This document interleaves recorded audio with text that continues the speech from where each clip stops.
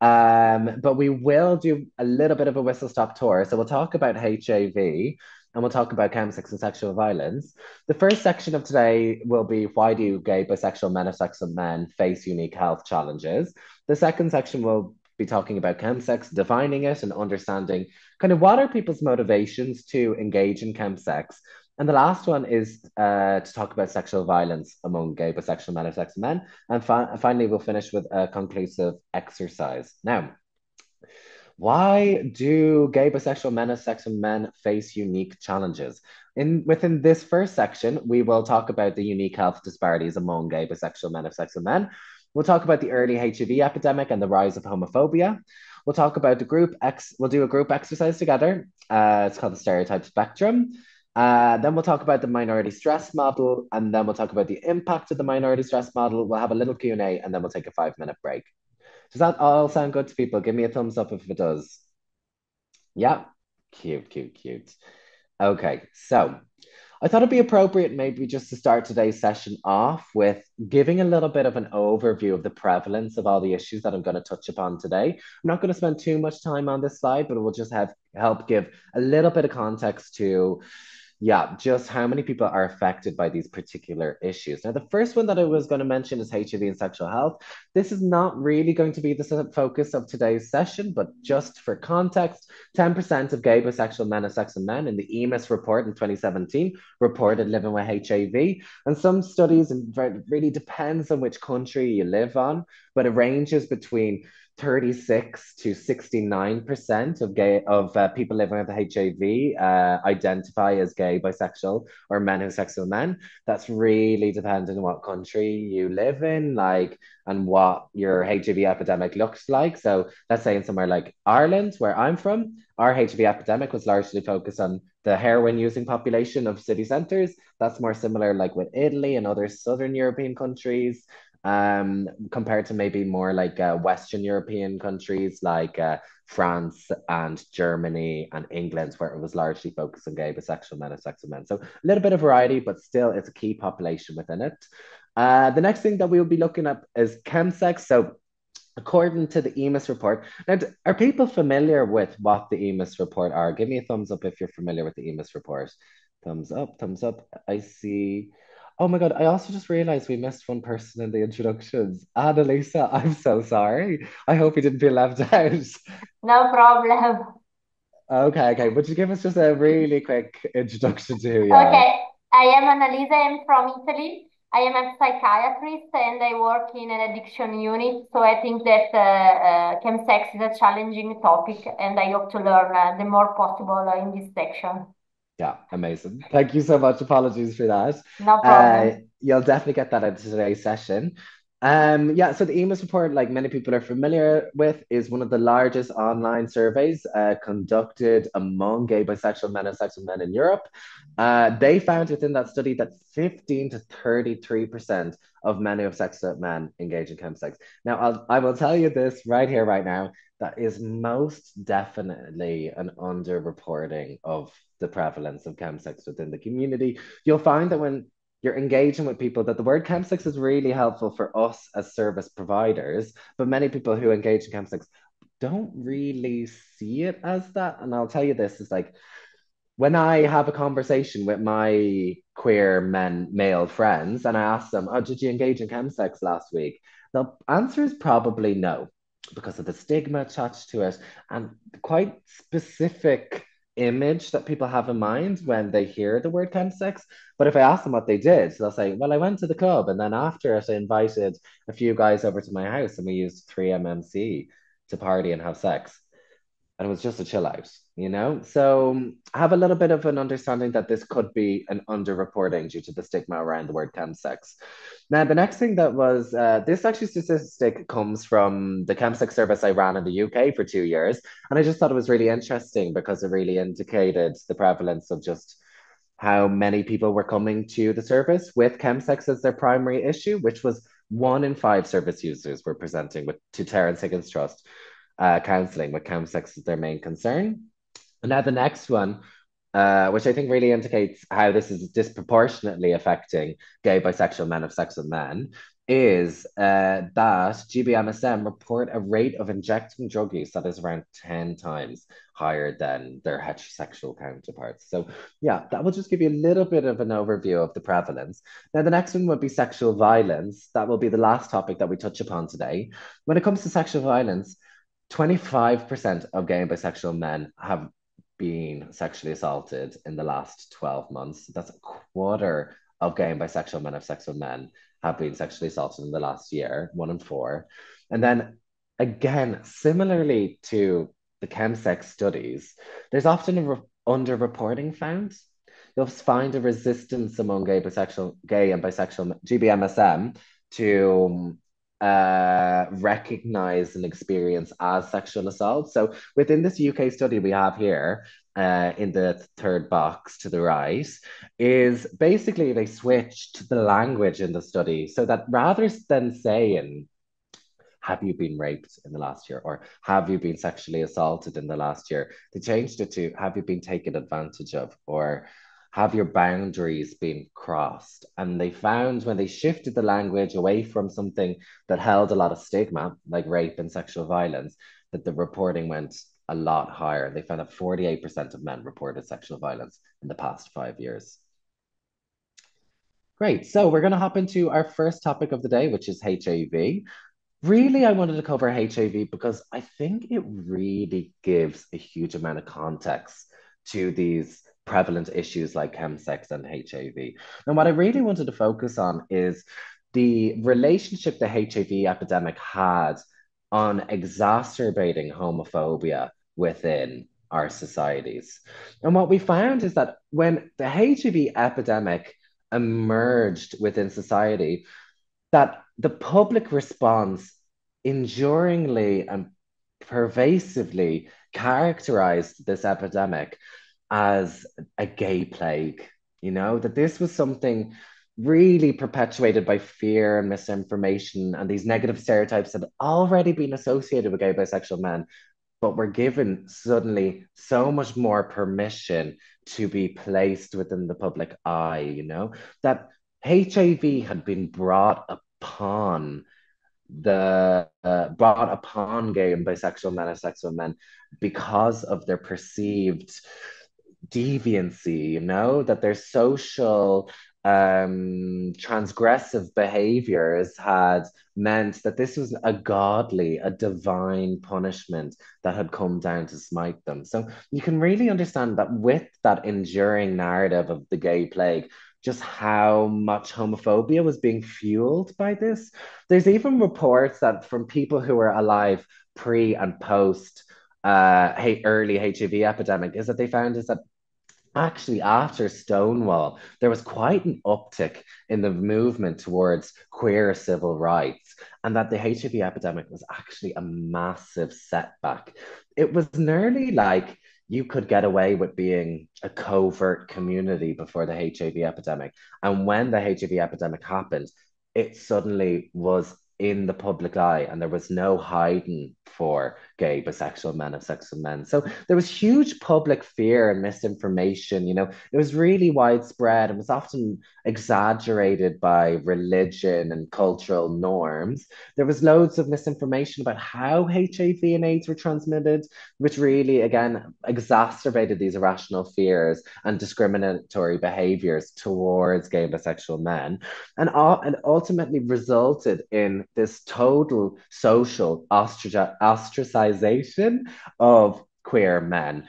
And what you also found on top of that is that queer men not only battled against this external pressure, but they also found that they started internalizing this external response and opinion and narrative into their own communities where suddenly there was major stigma, even being perpetuated by gay and bisexual men and sexual men, that was deeply rooted in homophobia.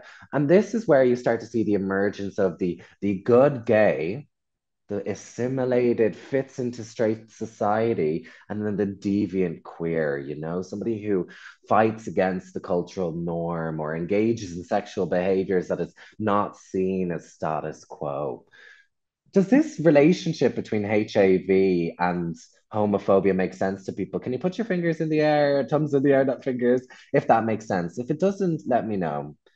Okay, I think people are generally getting on the same page. Great. So we're going to go straight into an exercise. I'm going to put you into breakout rooms. How exciting is that? Um, I love the breakout rooms because I get 10 minutes just to disassociate while you guys do all the work, you know? Um,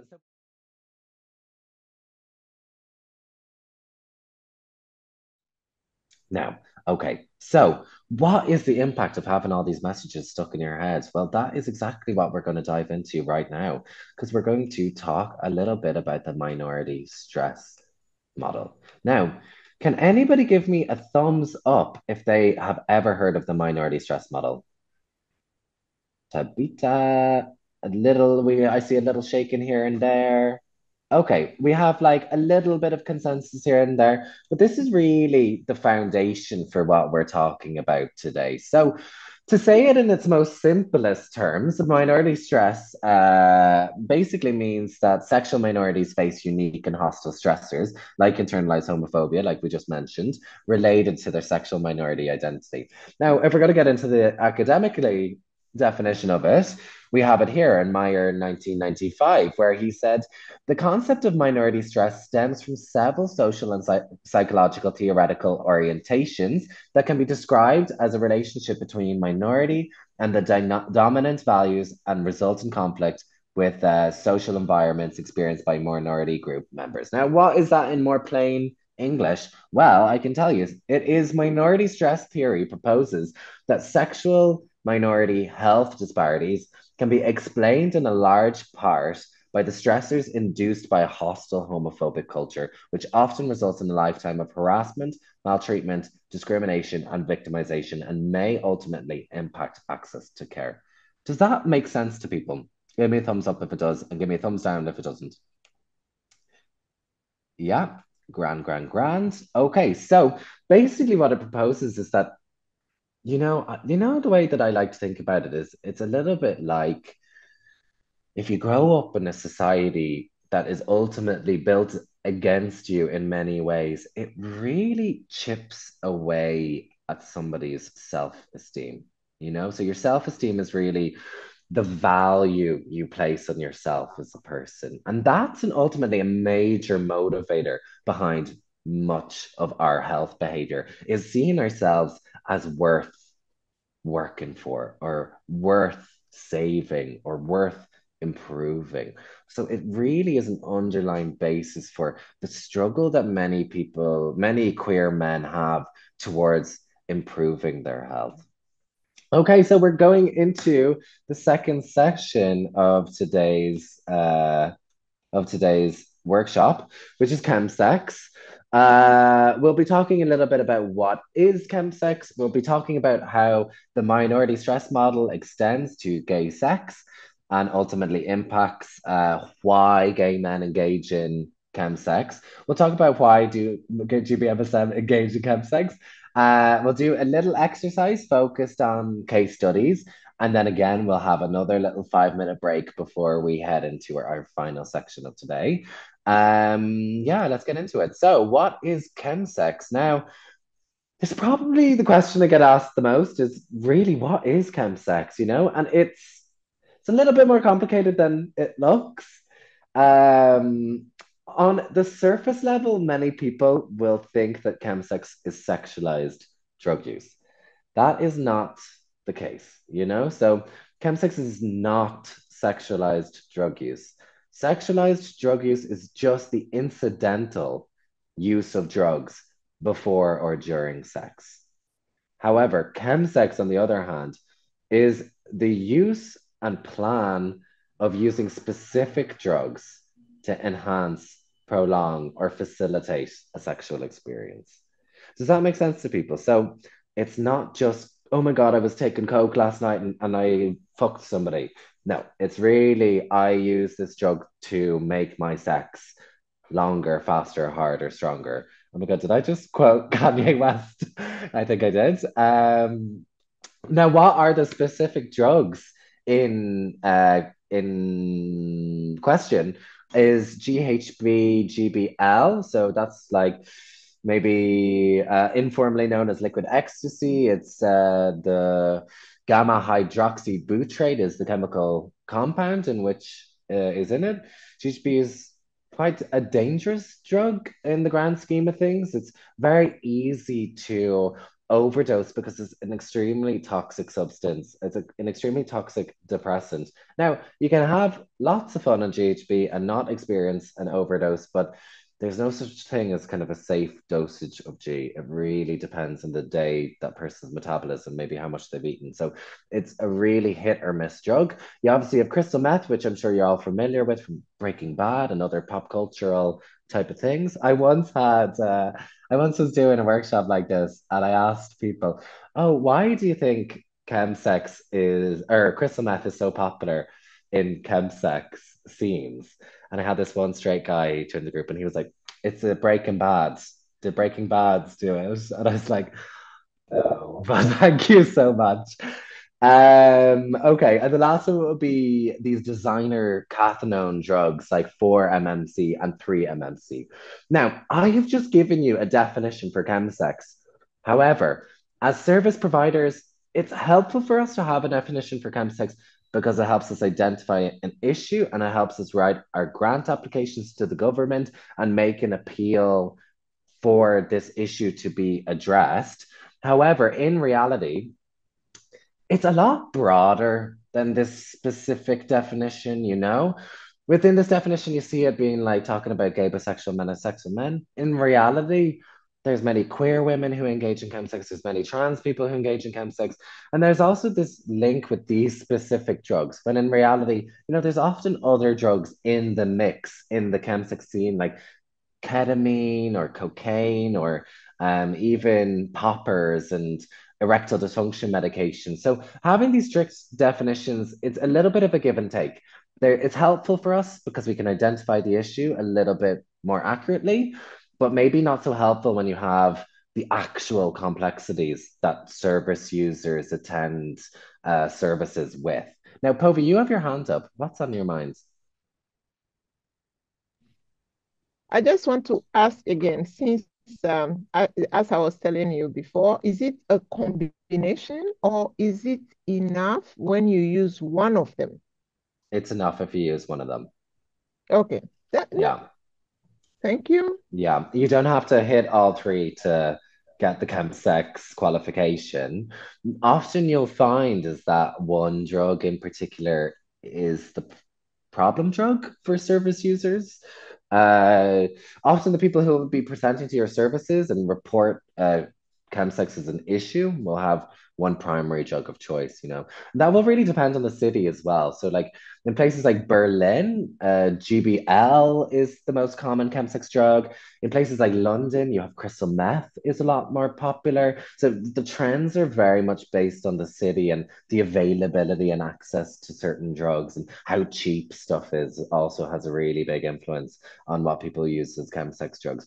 There's also like a key aspect of all these drugs that makes them chems, which is that they're all easily sexualizable. So it's not like ecstasy or MDMA where you can't, many men are not able to maintain an erection or they're not able to ejaculate using ecstasy. So it wouldn't be used in this context because it wouldn't be applicable enough. Or even ketamine, you know, it can cause people to become disassociated from their body. So it wouldn't be as easily sexualized as, let's say, GHB, which makes people really, really horny and lowers people's inhibitions, or crystal meth, which shoots your dopamine levels through the roof and of course sends you into a real like uh, heightened sense of sex and euphoria. And then 4-MMC and 3-MMC are a similar in a similar way to crystal meth affect your dopamine and result in that kind of increased sense of horniness. Does anybody have any questions about the drugs before I move on? Because I won't be diving too much into the drug side of things. We'll be going more into the theoretical side of why why chemsex is such an issue. So does anybody have any questions just, just before we move on? Nope. Nope. Cool. Uh, great. So we talked about this minority stress model, which proposes that you know sexual minorities face unique hostile stressors that result in these particularly health vul- these uh, particular health vulnerabilities. Now, the man who coined the term chemsex was this man called David Stuart, and really, when he was defining the term chemsex, he really went into explaining that like these drugs have been around since before chemsex, you know? G has been around, crystal meth has been around, cathinones are pretty new, but similar compounds have been present. And you know, the combination of sex and drugs is nothing new either, you know? Think about rock and roll, like as in these are things that themes that have been present within pop culture. However, what David Stuart explained is that so much of chemsex is actually explained by the factors that facilitate this particularly disproportionate use of drugs and sex together among gay, gay bisexual men and sexual men. So just say that one more time. Chemsex is mo- mm, ultimately framed by the factors that facilitate it within the gay bisexual men and sexual men community. That's why it's uh, defined for gay and bisexual men. And ultimately, what David did is that he extended the minority stress model to better understand what is stopping gay. I'm just going to say gay men because it's easier for me, but when I say gay men, I mean GBMSM and trans and non-binary people. Um, what is preventing gay men from having healthy, uh, sober sexual activities with each other. And he identified these factors. It included things like the societal attitudes around homophobia or the societal attitudes around homosexuality, which we touched upon, of course, in the first few slides around the uh, early HIV epidemic and the homophobic response to it.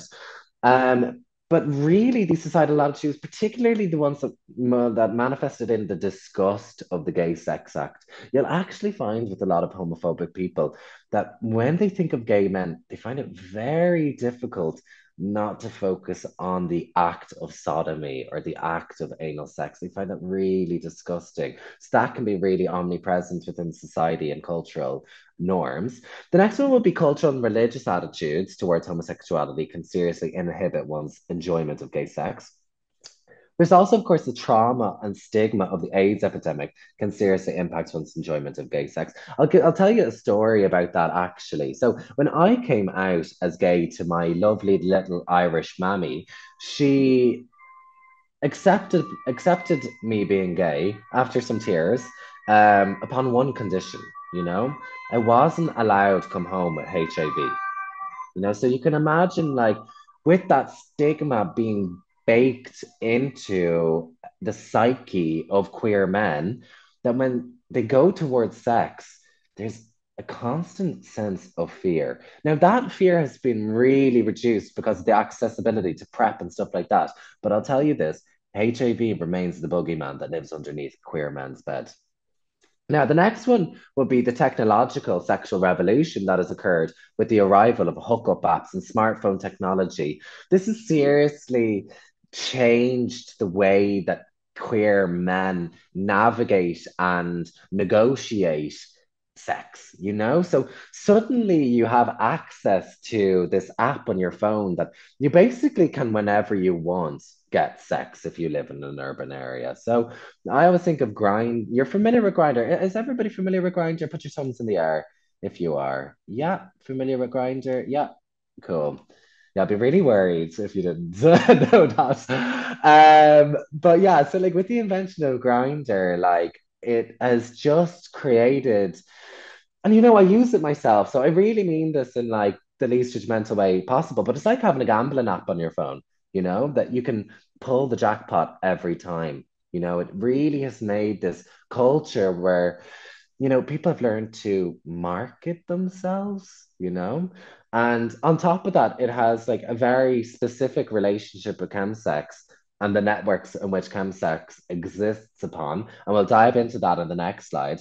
But just, just to explain a little bit about what culture has been created on these apps, we have this gay specific culture born rejection culture born out of the hookup apps. It's associated with these gay tribes. You know, twinks go with daddies, muscles go with muscles, otters go with bears. Like this thing that based on body shape and fitness, race and sexual performance expectations, plus the ability to market oneself in order to be successful within that culture. If you're a gay man in this uh, workshop, you'll be much familiar with the ability to hit upon the notes on Grindr or play all the notes on Grindr so that you will get what you're looking for. You know, it's quite transactional in that nature. And that really makes it um yeah, often more difficult for people to find meaningful connections. And then the last one would be the dangers associated with gay sex. So be it, you know, living in a homophobic society where where there is very present dangers of being hate crimes via gay, gay hookup apps or even in public. Now, obviously, there's that's a double-sided sword in a sense because the danger around gay sex is also sometimes the thing that makes it better and sometimes the thing that makes it worse. There's then a bit any questions about these factors that make it more difficult for gay men to enjoy sex? Nope. Nope. Um, maybe. Um, yeah, go um, on, Peter. Yeah, well, what you said that uh, men are uh, now um, learned how to market themselves. So you have to look in a certain way, you have to belong into some category, and um, yeah, this is the basic of this uh, fucked up thing. Yeah. Yeah. Yeah. Yeah, exactly. Like, and I, I think what uh, I think it was Annalisa mentioned it in the previous exercise about, you know, having all of these stereotypes in your head as well and having the difficulty with your own identity because of that. You can imagine how that's only exaggerated and exacerbated when you're like put into this realm now, where you're also expected to fit into certain categories, not fit in certain categories so that you can feel desirable to your peers, you know? So it's a lot of pressure. It's a lot of pressure on queer men in these sexual settings. Now, why do we engage in camp chemsex? Before we get into this, can, can anybody tell me why, why do you think people engage in camp chemsex? Well, maybe if I can. Uh, this is just exactly what I said before. They uh, with this, they it's easier for them to fit in a certain group or just to to to relax thinking about it, what they really are, what they want. Yeah, yeah, I think that's a really good way of putting it. It's a sense of escape, Yeah. know, Or also the loneliness behind it and mm, disconnection. Really fundamental human needs, you know, connection, overcoming loneliness. Can anybody think about, you know, some of the stuff we mentioned earlier? Is there anything else that people might be using these drugs to cope with?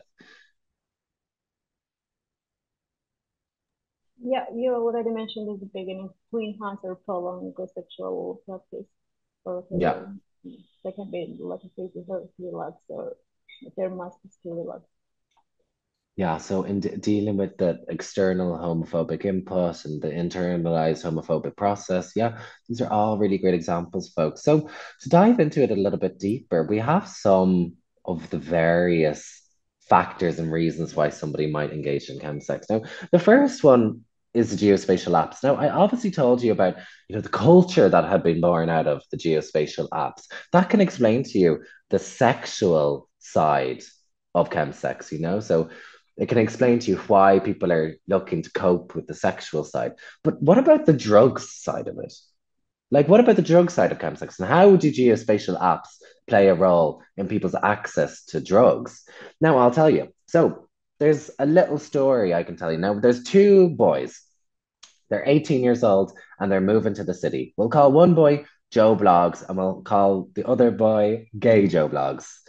Now, straight Joe Bloggs and gay Joe Bloggs, they live in rural England, let's say, and they move from rural England to London. Now, when straight Joe Bloggs comes to London, he's five degrees of separation from crystal meth. He'll have to go one, two, three, four, five people, five loops of social circles before he gets to crystal meth. Now, for gay Joe Bloggs, when he gets to London, he also has five degrees of separation before him and crystal meth. However, now that he has access to Grindr in an urban area, suddenly he can just jump all the way to network five you know? So it changes his ability to access certain specific drugs because of the networks that are present on spaces like Grindr. Does that make sense to people? Give me a thumbs up if it does. Amazing, amazing. Okay, now the next thing that I would say is drugs are fun. I love drugs. Um, many people love drugs, you know, it's a form of experimentation. Uh, it was something that I found really, really difficult when I was younger. Um, I grew up in the countryside in Ireland and I did not know people did drugs. Like, really, I didn't. I thought that rich people, like movie stars, do cocaine and then poor people do heroin. And I didn't realize that there was anything in between, you know? So you come to you come to the urban city or went to college and whatever, and you find, oh my God, there's actually this full culture of people who use drugs recreationally. And that's particularly true within the queer community. And I have a quote here from one of my favorite articles, which basically proposes that drugs are a significant component in the subcultural practices and spaces of pleasure upon which urban gay identity has been built. So it's quite an integral part of gay culture. Now, the next one we're going to talk about is ritualized comfort seeking. Now, when we talk about chemsex, we don't often talk about addiction, at least within my own services. We had a little bit of a move away from the term addiction because addiction really, for me, speaks to the chemical process that is happening in people's brains, you know? So really like addiction is a process in which somebody has a dependency on a drug and then suffers withdrawal symptoms. Now, that is indeed true for people who become addicted to GHB, but other drugs have less of that relationship. So, what we really define it as is like, how are people using these drugs to self medicate existing vulnerabilities that are already present in their lives?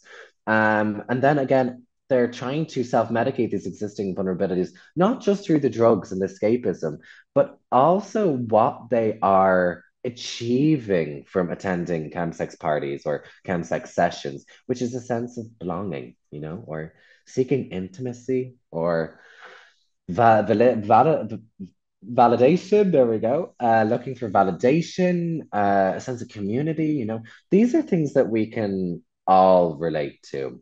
The next one I would see quite often with in running a chemsex service was neurodivergence, you know. So we had a lot of people who with problematic levels of chemsex use finding that they were neurodivergent, maybe ADHD or ADD. As you can imagine, like, you know, crystal meth is actually uh, like one degree of chemical separation from Ritalin, which is one of the most popular drugs used to treat ADHD. Uh, I remember I once had a client and he told me, yeah, when I use crystal meth, I, I just feel really calm, you know? And that's really made me giggle because that should be the exact opposite of what crystal meth does. Crystal meth should have you going through the roof energy wise. But because the crystal meth was actually uh, medicating by accident his ADHD, he was finding it was really helping him in many ways. So again, it's meet the chemsex is meeting a certain real need.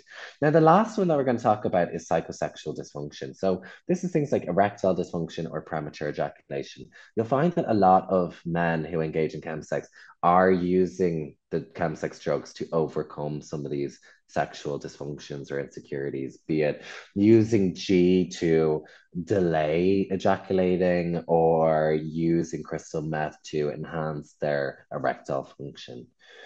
Before we move on to the next section, does anybody have any questions about these different uh, motivators to engaging in chemsex? Nope.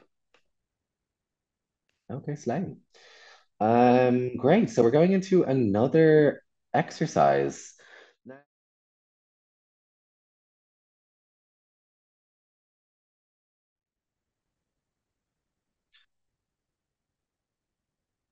Okay, I think everybody's back in from the breakout rooms. what we're going to do is I will read the case study for those who haven't had the opportunity to read it, and then we'll have a little bit of a discussion with obviously the first group who took case study one, and then the second group with case study two, and then both groups took case study three. So we'll talk about that as a collective. Um, okay, so let's read this first case study. have to refind it. Um, here we go. Okay, the name of our first client is Ivan. Ivan is a young man of 25. Ivan has never identified himself as bisexual. Uh, he said that he always hated gay stuff. Uh, in my head, I heard my father's voice. He had always said that gays were a mis- mistake of evolution. I was ashamed. I'd constantly thought about what I felt when I had sex. He started engaging in chemsex more and more often, first once a month and then every two weeks, and finally once or twice a week. Without meth, short for mephedrone or 4-MMC, even looking at guys is disgusting for me. When I'm sober, I think about how I ruined my life with my own hands, that I'm a mistake, that I shouldn't exist, and I have to change. But with meth, such thoughts don't bother me. I can have sex. Later, Ivan passed away, got into an argument with his boss at work and engaged in chemsex to relieve the stress and overdosed on gamma hydroxybutyrate at one of the parties. Now, group one, can anybody talk to me a little bit about what were your feelings when you read this first case study? Anybody? I think it was Tabita and Elisa, Ada. Well, um, I mean, it's it was very sad. This is a I don't know. I don't know if that's if that's yeah. I don't know. It, it just you know like it feels like he's driven by shame. There's a lot of shame, a lot of internalized homophobia. Uh, yeah. Yeah, so I think I think you hit the nail on the head in many forms. Sorry, folks, just need to connect my earphones real quick. They're not connecting properly. Oh, okay, one second. Sorry, let me just close this door. There we go. Okay, so yeah, like you said, there's lots of shame there. This is a particularly sad case, you know. There's there's some other stuff present, but I'll leave anybody else to identify those. What else is present in this? So we got the shame. Anybody else? What else is present in this case? Annalisa. We have discussed about uh, probably um, his comfort seeking uh, because there is a, a judge inside his head, his head, and so he doesn't know how to do what to do. He's uh, looking about uh, himself. Yeah, yeah, it's permanently self-conscious when Yeah. having sex. He's unable to let go without the drugs. Who else was in your group, Annalisa? Um, I would say uh, me, Nora. Um, I'd say that um, all of or the majority of the thoughts uh, related to this was because of his father that he imposed kind of like this trauma or stereotypes about being a mistake, a mistake of evolution, Yeah. and yeah. Well done, Nora. You're exactly right. Like, so you could even you could see it in the way that he spoke about himself. You know, he heard his father call gay people a mistake of evolution. And then, you know, when his life was crumbling apart, the first thing that came to his head is that I I am the mistake, you know, I'm the mistake, and that's why things are going wrong for me. So you can imagine how disabling that could be for somebody looking to make any meaningful change to their life. So, well, thank you so much, girls, for your contribution. That was really helpful, and you hit the nail on the head. So within this story, uh, without the quote that really stood out to me was without it, without it, even looking at guys is disgusting for me, you know? So chemsex is a permission to have sex with the man. Now, another thing that you could identify within the story is that he had never identified himself as a bisexual man. Can anybody tell me what this means? Anybody? If he's not gay and he's not bisexual and he's having sex with men, who what category would you put him in? Men who have sex with men. Yes, thank you so much, Ada. I dared, I was like, how do I say this without saying men who have sex with men? Like, uh, you're dead right. In man have sex with man, you know. It's funny. Before working in the service world, um, I used to be like, oh my God, like they're just straight guys can't admit that they're not they're gay, you know what I mean? And I was like, oh, just someday they'll cop on and they'll be they'll realize they're gay. Not a helpful attitude to have when trying to compassionately provide support to these men, you know, for them. What they don't identify, it's not the sexual behavior. They know that they have sex with men. They know that they like having sex with men. They don't identify with all the gay stuff. You know what I mean? They don't identify with the queer community, you know? And you'll find within the area of chemsex is that a lot of men who identify as men of sex and men have that uncomfortability with gay sex. So then they reach for the cans to facilitate the sexual experiences that they want to have, particularly sexual experiences like bottoming or fisting, things that they might see as more taboo. Now we'll go on to the next case study. Um, this case study is about Igor. Igor is a young man of 28. He's very tall, fit, and sporty. When Igor says that he has never felt ugly, unattractive, or unworthy of attention, four years ago, during a routine health checkup, Igor tested positive for HIV. He said that he took it calmly, just as another thing he had to deal with and take care of his health. About six months after being initiated on antiretroviral therapy, Igor started meeting people again for sex and dating and faced stigma related, related to his HIV status. All of a sudden, it turned out that all of the things that were attractive about me meant nothing. HIV changes the way people look at you. For the first time in my life, I was facing rejections and couldn't do anything about it.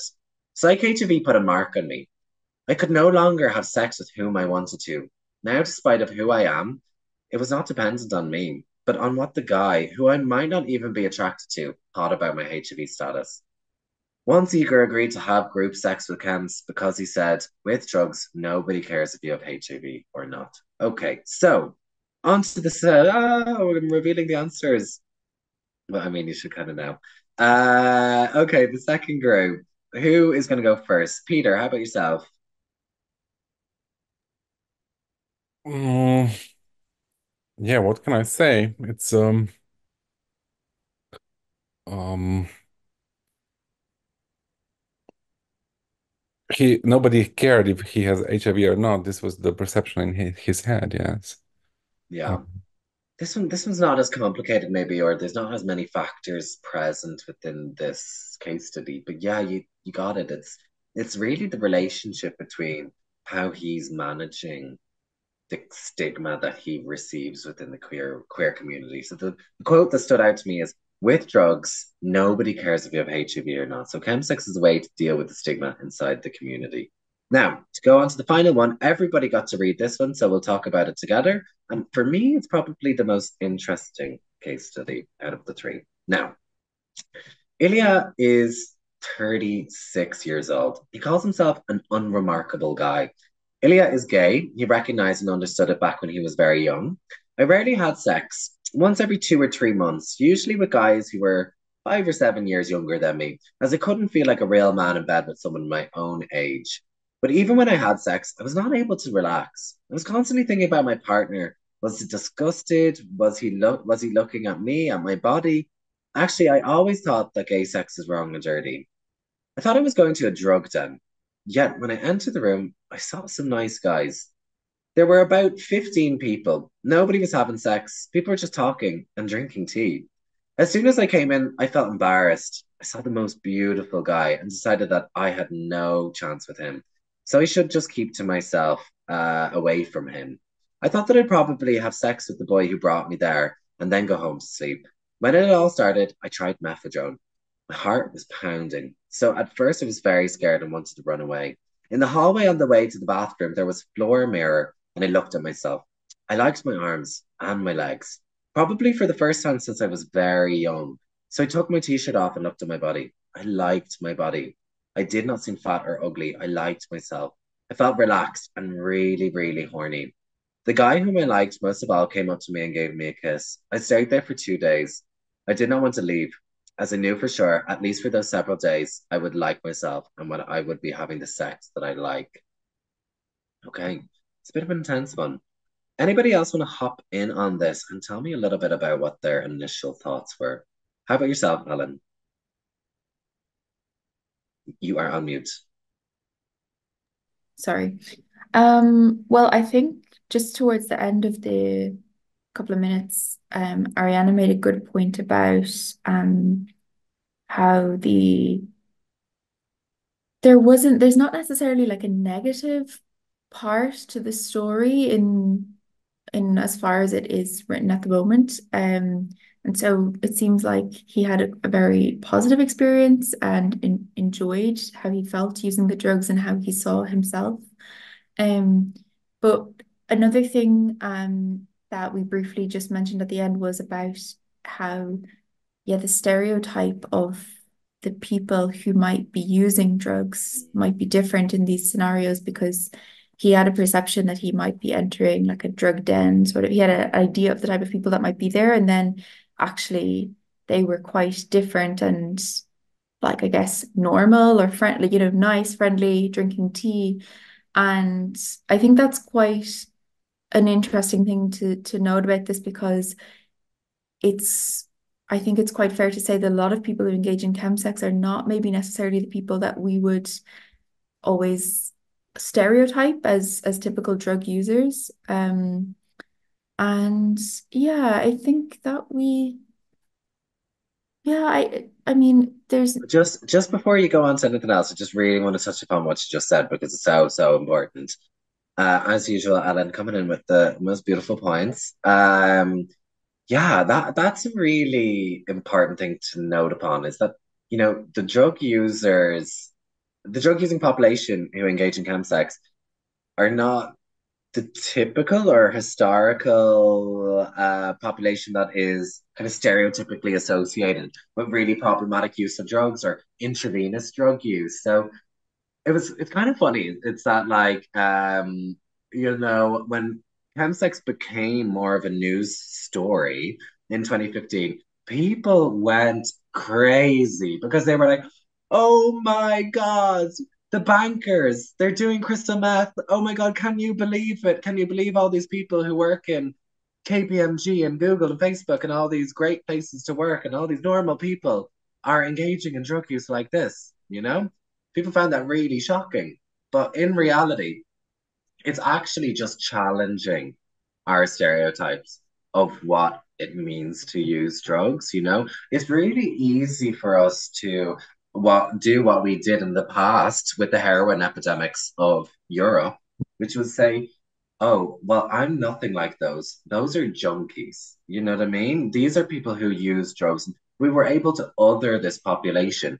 But when GBMSM started engaging in chemsex in the way that they did, people found this really shocking that somebody could be maybe of a wealthier socioeconomic class and be engaging in drug use like this. It's so taboo. But really, what it does is just shows us is that, yeah, like drug use of this style is not reserved to one population of people. We all have the capacity to engage in drugs recreationally or engage in drugs in a problematic way. And that leads me perfectly on to kind of my next point, which is that not all chemsex is problematic. You know, there's a spectrum of chemsex related behavior. And that's really important for us as service providers and people who support community members is that can be really easy for us to demonize all chemsex, you know. Oh my God, this is the next big problem in the community is chemsex. But there's many people who engage in chemsex and it will never become an issue for them. They will always have a recreational and enjoyable relationship with it. And what you might find is that for many users, the benefit of positive experiences, such as the sexual exploration and the boosting of self confidence, will outweigh the minor harms, such as the come downs in the days afterwards or the financial costs incurred. Does that make sense to people? You know, it lives on a spectrum and there's different factors that will protect somebody's recreational relationship with chems. And those protective factors include things like harm reduction strategies, so understanding how to take these drugs in a manner of which will reduce any of the harms or risks associated with it. So that could be using a timesheet for G. It could be knowing accurate, knowing your doses. What's a small dose? What's a medium dose? What's a large dose? It could be using clean needles when slamming drugs. Does everybody know what slamming means? Put your thumbs in the air if you know what slamming is. slamming, slamming, slamming, slamming. Just in case anybody does not know, slamming is the gay slang for injecting drugs or intravenous drug use. And I'll tell you this, it has such a relationship between stigma and drug use because it's like nobody would ever want to say, Oh, do you want to come over to my house house and inject drugs? Or do you want to come over to my house and use drugs intravenously? You know, that's not sexy. So you see this language developing within the chemsex scene that makes the stuff a lot more fetishized, a lot more, a lot more uh sexy slamming, you know? It's like fucking, you know?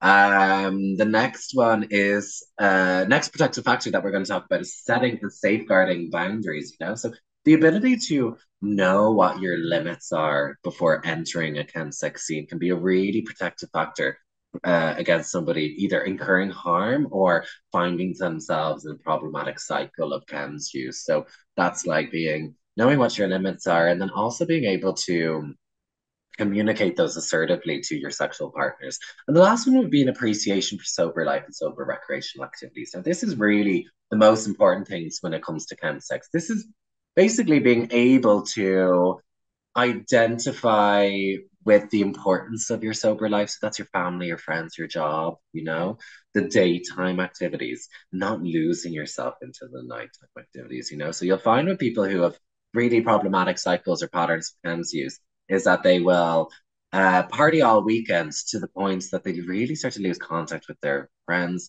start to lose contact with their families. Uh, they drop their volunteering job, then eventually it starts eating into their weeks and it starts eating into their employment, find it more difficult to keep up with their work life. So really starts to eat away at their sober life. So at all times when people are engaging in, to be honest, any sort of drug use, should always keep in mind that your sober life, in the end of the day, is the thing that will bring you the most reward and achievement, a sense of achievement. Okay. Any questions before we move on, folks? okay, so we are into our final section of today. This final section, we will be talking about sexual violence among gay, bisexual men, and sexual men. We'll be talking about understanding consent in queer spaces. We'll be talking about challenges to consent, and we'll be talking about what we can do to support GBMSM survivors of sexual violence. So, without further ado, let's talk about navigating queer sexual landscapes. So, the complexities of consent in queer spaces. You know, when it comes to discussing sexual consent, conversation is often centered around heterosexual relationships. This is that really the narrative that's developed around consent over the last 10 years uh, where it's like yes means yes and no means no.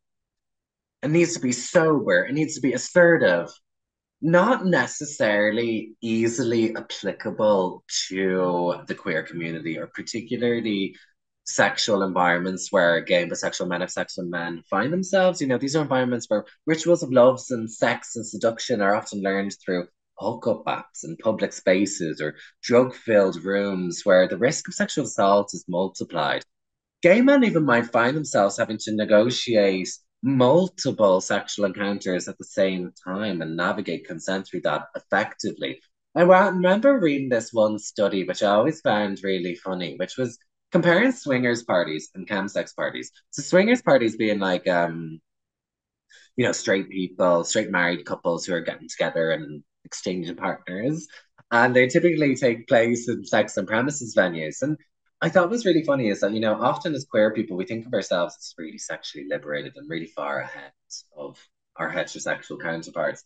But what they found in this study is that within the swinger space, they had really defined set rules around how consent was to be negotiated, you know? So this was because of the presence of women in the space, you know, because there was a little bit more awareness, not saying that they're perfect in any way, but a little bit more awareness that they needed to be safeguarding the women. And what they found is that yeah, they had these really kind of regimented processes of consent.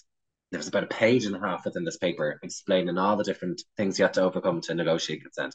Now, when it came to the chemsex parties, what they had instead is that consent is negotiated through eye contact, body language, non-verbal cues, and it's extremely rapid. So you can imagine with that, it's very difficult for many queer men to negotiate consent. Now, you place on top of that all of the stuff we talked about minority stress model and the vulnerabilities and the low self esteem. you can further understand what places GBMSM at a particular vulnerability to experience sexual violence. And I'll say this again now. Gay and bisexual men and sexual men are the second largest proportion. Wait, I don't know if I'm saying this right. I'll say this: bisexual women are the largest population of people, or are the are the people. Sorry, I keep messing this up. Uh, bisexual women are those most affected by sexual violence, you know, and then after bisexual women, you have gay and bisexual men or sexual men, you know, with really extreme rates of sexual violence, around twenty five percent, and fifty seven percent in different reports. Now, that's not just being victims of sexual violence; it's also gay men are also the perpetrators of sexual violence. So in the next slide, we'll understand a little bit more of like what are the challenges that are resulting in more sexual violence within these spaces with per more perpetrators implementing the sexual violence. So the first one will be cultural norms and social discourse. Within the queer community, it often presents gay and bisexual men as highly sexually active and sexually assertive. Then this totally normalizes problematic behavior you know, often in the past, I've seen consent uh, based interventions in queer spaces try to promote consent. And what they found is that there was a big pushback, you know, and in spaces where they really wanted it to be hedonistic and sex and premises venues, they wanted it to be hedonistic and sexually liberated, that you had a pushback from the community community when you brought up conversations of consent of people saying things like, well, you know what, I actually like it when my ass gets grabbed, you know? So this like cultural norms that actually facilitate problematic behavior. The next one will be toxic masculinity. So this is something maybe you're all quite a little bit familiar with, but it basically proposes that the social desirability for sexual aggressiveness can lead gay and bisexual men to accept conditions that otherwise would be considered problematic. The next one will be assimilation. Assimilation. Now, I don't know if assimilation is necessarily the right word, for this particularly this particular factor that's facilitating higher rates of sexual violence. But what it basically means is that because queer men have fought so long to be accepted within wider society and to be seen as normal, it can often be really difficult and you're met with resistance when people are forced to acknowledge some of the more problematic aspects of queer sexuality. Now, the last one would be complex sexual landscapes. You know, so queer newcomers may find experiences in sexual environments that require really complex navigation of consent. So I'm talking about sex and premises venues like saunas or chem sex parties or even cruising areas. If you've ever been to a cruising area, I'll tell you this, they're extremely silent. They're the most quiet place you'll ever be. You could drop a pin and hear it, hear it hit the ground, you know, because nobody's talking. And to speak in these spaces, it's often seen as very taboo, you know. So you cannot you can understand that if you can't talk, it can be very difficult to negotiate sex effectively. Now, what are some of the things that we can do to support survivors of sexual violence? Well, some suggestions uh, for overcoming barriers include things like challenging harmful stereotypes about men and masculinity. You know, that idea that men can't be raped is really unhelpful, or the idea that you know men always want sex, or if you have a, an erection, that means you wanted to, to have that sexual experience. So challenging these can be really helpful men supporting men. So creating a culture of openness and support, you know, not re as a man or as somebody who operates within the world of men. Um, like I, I consider myself non-binary, but because I live so much within the queer men community, you're engaging with the structures no matter what, you know. Um, so being able to challenge some of those role gender roles. The next one would be to encourage men to speak out and seek support when they have experiences of sexual violence this is both in terms of you know speaking out as in sharing your experience with people so that you can receive support but also we need to encourage more men to speak publicly about sexual violence and their experiences with sexual violence so that we can empower others to move through that experience uh, in a more uh, self-compassionate way. And then also so that we can combat some of the stigma and myths that are present around it the next one will be to educate yourself and others about sexual violence. It's always important within the organizations that we work within that we fight for some of these more stigmatized topics like chemsex and sexual violence. The next one will be to reach out to support groups or counselors who specialize in working with male victims. For example, Men as Well is the organization I work for.